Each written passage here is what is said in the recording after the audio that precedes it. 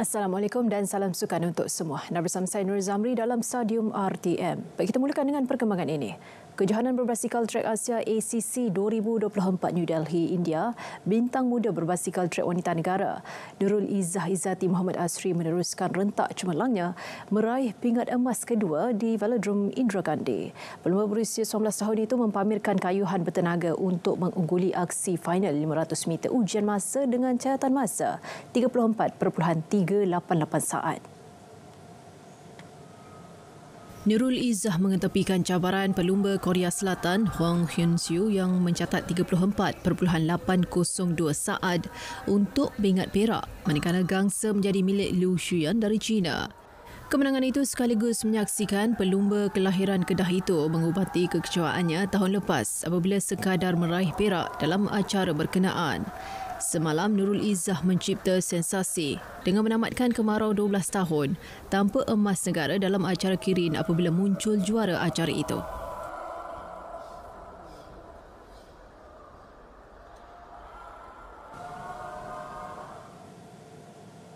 Baik menjelang Sukan Olimpik 2024, kontijen memanah negara sedang merangka penyusunan jadual perlawanan antarabangsa sebagai persiapan dan tambahan mata untuk kentamasya berprestij dunia berkenaan.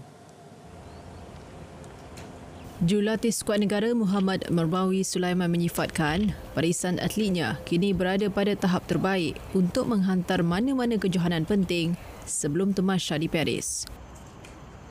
Kita uh, gantikan dengan kejohanan lokal lah yang akan berlangsung esok hari di uh, kekebangsaan di Shah Alam. Uh, dan uh, uh, untuk bulan uh, April nanti kita ada first international uh, competition di Shanghai World Cup Shanghai. Dan uh, itu uh, dan satu lagi bulan Mei di uh, Yechon Korea. Itu pun kejohanan uh, World, World Cup Series lah. Sebelum kita ke uh, World Cup Stage 3 di uh, Antalya Kejohanan tempatan yang berlangsung esok menjadi medan menilai kemampuan atlet mendominasi keseluruhan permainan. Slot ke Olimpik kali ini mendapat tentangan sengit dari beberapa negara, bukan sahaja Eropah, malah dari Asia Tenggara. Um, so far yang saya tengok seperti India, India, uh, China uh, dan juga uh, USA uh, untuk uh, recurve wanita lah. Eh? Uh, dan Uh, negara-negara Europe pun ada beberapa negara yang kita lihat um, dia kuat dari segi individu tetapi tim masih um, belum dapat kelayakan.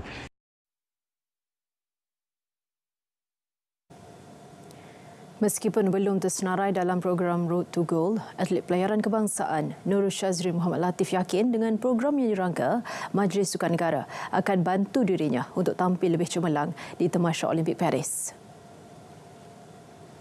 Beliau akan berkelana ke Eropah bagi meningkatkan prestasi sebelum menghadapi temasya terbesar dunia itu.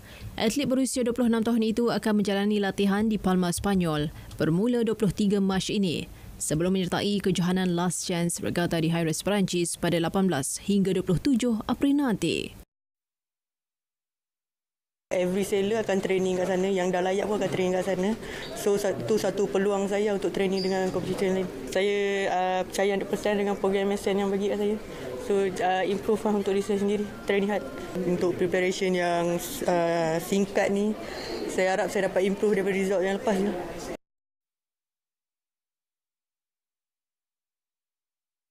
Dalam perkembangan sama, Datuk Hamidin yang juga Ketua Kontijen Olimpik Paris menjelaskan, meskipun Shazrin tidak berada dalam program RTG, namun atlet berkenaan tetap diberi sokongan penuh. Seperti macam perbincangan saya dengan uh, YB Menteri, YB Menteri beri, uh, prihatin bahawa pihak uh, pihak saya OCM dan juga MSN maupun menteri akan membantu mana-mana permintaan daripada atlet yang telah layak. Kerana kita selain daripada kita nak memburu pingat emas kita pun nak juga medal yang lain juga seberapa banyak yang kita boleh. Di dalam keadaan uh, beberapa atlet kita gagal ke olimpik ni kita macam saya katakan awal kita punya uh, jumlah tu dah makin uh, makin mengecil. Jadi uh, mana yang kita boleh support uh, apa saja kepada atlet ni memang mereka telah luahkan kepada saya dan kita akan kita akan bagi sokongan Saudara menjelang perlawanan kelayakan Piala Dunia 2026 Piala Asia 2027-26 Mac ini, FAM ada plan B jika keadaan padang Stadium Nasional Bukit Jalil tidak memuaskan untuk digunakan sebagai venue. FAM akan mengadakan lawatan ke gelanggang keramat Harimau Malaya itu pada awal Mac ini bagi menentukan kesesuaiannya sebagai venue perlawanan. Jika tidak sesuai, aksi berkenaan akan dianjur sama ada di Stadium Sultan Ibrahim di Johor atau Stadium Sultan Mizan Zainal Abidin di Terengganu. Saya tahu memang kita dimaklumkan oleh pihak PSM dan selepas uh, konsert tersebut saya dah maklum pada pada apa ni pada PSM Chairman Dato' Isaac saya akan pergi dengan tim akan lawat sana lah by awal Mac kita akan tengok condition masa itu. Kalau condition tak bagus, kita pergi tempat lain. Uh, kalau tak ada. Jadi kita kena tengoklah. Jadi dan dia telah maklum pada saya tengah ada membawa rumput tu di luar dengan semua. Tapi yang pentingnya pada awal Mac kita akan tengok. Sama dia boleh digunakan untuk 26 hari bulan Mac lawan Oman di Bukit Jalil. Uh, tapi saya tak saya tak ada dapat maklum lagi dengan pemangku Tanjung lagi. Saya rasa itu yang terbaik lah. Kalau tak ada, Terengganu dengan dengan situ. Itu antara yang terbaik kerana coach Kim ni nakkan uh, dia nakkan kualiti padang yang cantik. Beliau berkata demikian selepas sesi town hall bola sepak wanita FAM. SNBJ yang dijadikan venue bagi konsert Ed Sheeran minggu lalu mengundang kebimbangan ramai berikutan permukaan padang pernah rosak selepas persembahan Coldplay. Pemain sayap Harimau Malaya Faisal Halim merangkul gol terbaik pada Piala Asia Qatar. Faisal yang lebih dikenali sebagai Miki jauh melalui pesaing lain selepas undian ditutup. AFC menyenaraikan jaringan Faisal pada perlawanan menentang Korea Selatan bersama tujuh lagi gol lain untuk dipilih sebagai gol terbaik Piala Asia edisi ke-18.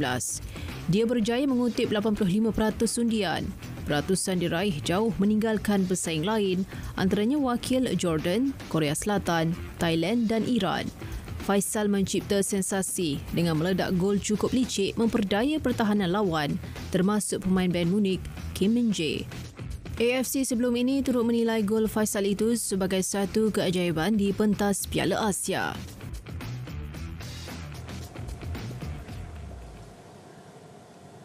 Pengurusan Perak FC mencadangkan agar penukaran rumput baharu jenis Zion Zuzia atau Bermuda di Padang Stadium Perak hanya dilaksanakan pada penghujung musim. Ketua Pegawai Eksekutif Fera FC, Bobi Farid Samsudin berkata, pihaknya menghargai usaha baik untuk menukar rumput stadium itu namun terdapat beberapa kekangan yang akan dihadapi jika kerja-kerja penukaran rumput dilakukan sekarang. Pihaknya turut mencadangkan venue Liga Super bagi Perak FC kekal di Stadium Perak dan bukannya di Stadium Majlis Perbadaran Manjung. Perlawanan pasukan yang menggunakan stadium berkenaan akan diadakan pada sebelah petang. Selain dijangka tidak mampu menarik ramai penyokong untuk datang memberikan sokongan. Beliau berkata cadangan itu sepatutnya dibangkitkan pada sesi perjumpaan dengan KBS, Majlis Bandaraya Ipoh dan Esko Kerajaan Negeri namun terpaksa ditunda. Pelari menara nombor satu negara, Soh Wai Ching berjaya mempertahankan kejuaraan tiga tahun berturut-turut. Beliau sekali lagi berjaya menawan bangunan menara Skill District di Las Vegas, Nevada, Amerika Syarikat. Lebih manis, Wai Ching turut memperbaharui rekod yang dicatatnya pada tahun lalu. Wai Ching melakukan larian 108 tingkat melibatkan 1,455 anak tangga dalam tempoh 6 minit 43 saat. 3 saat lebih pantas berbanding tahun lalu. Tempat kedua diraih atlet Jepun Rory Watanabe manakala tempat ketiga milik atlet tuan rumah Jason Lawson. Pada 2022 dan 2023, Wai Ching mengungguli kejohanan berkenaan dengan catatan masing-masing 6 minit 46 saat.